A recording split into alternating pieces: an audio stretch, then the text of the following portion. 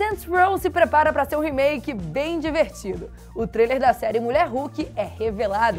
Anime de Rick and Morty é anunciado e Xbox Game Pass de maio terá Jurassic World Evolution 2 e muito mais. Oi, eu sou a Marinere e esse daqui é o nosso Daily Fix.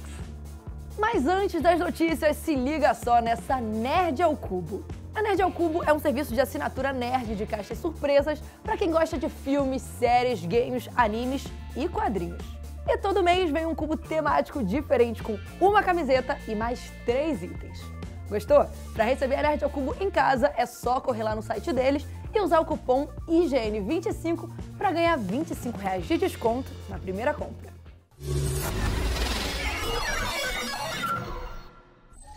A Marvel Studios revelou ontem o primeiríssimo trailer da nova série Mulher Hulk. Aliás, o seriado ganhou até um subtítulo: Attorney at Law. A mulher Hulk, também conhecida como Jennifer Walters, é uma advogada especializada em casos jurídicos sobre-humanos. Embora não se saiba muito sobre quem ela representará, foi confirmado que Mark Ruffalo aparecerá como Hulk na série ao lado de Tim Wolf como Abominação. Mulher Hulk é uma série descrita como uma comédia que vai receber uma série de personagens da Marvel. Mas a melhor parte desse anúncio, para mim, foram os memes lá no Twitter comparando a personagem com Magalu, com a Fiona do Shrek. Ai, ai, a internet brasileira, né? A estreia está prevista para o dia 17 de agosto no Disney Plus. O hype é real. Saints Row é empolgante, parece ser super divertida, cheia de maluquices e muito humor.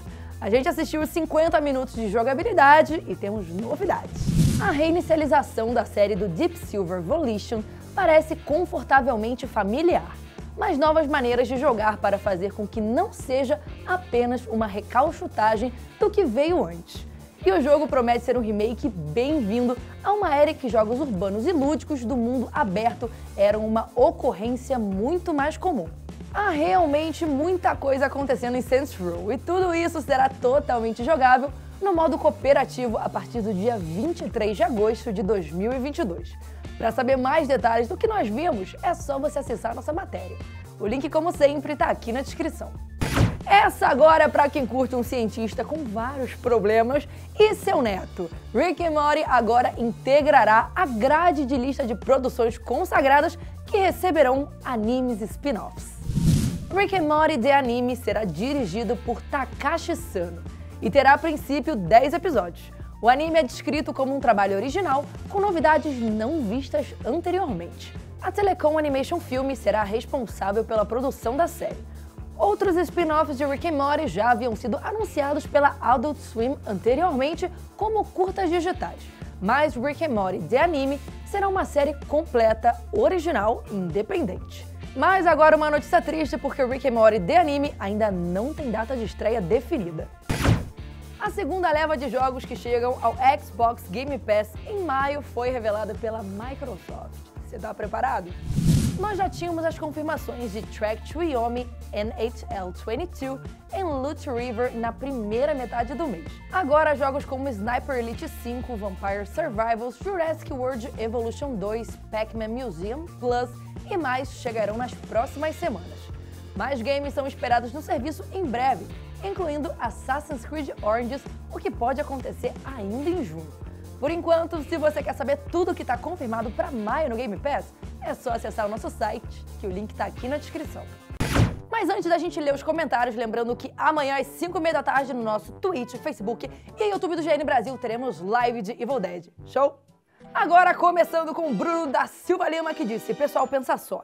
E se a Mari que apresenta o Daily Fix não for a Mari do nosso mundo, mas a Mari de outro universo? Nesse caso, em universo paralelo, o Daily Fix não existe. E a Mari desse universo paralelo ficou pistola e achou uma maneira de invadir o nosso universo e tomar o lugar da Mari que conhecemos. Olha, Bruno, quanto menos você souber, é melhor, confia. E por último, o Andinho disse: Mari, você se casaria com Zac Efron agora que ele está a cara do Eduardo Costa? Gente, o amor supera qualquer desarmonização facial, tá bom? Casaria.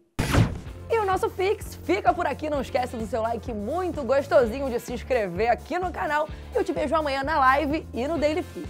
Um beijo e até! Joga o cabelo deslizando, rebolando.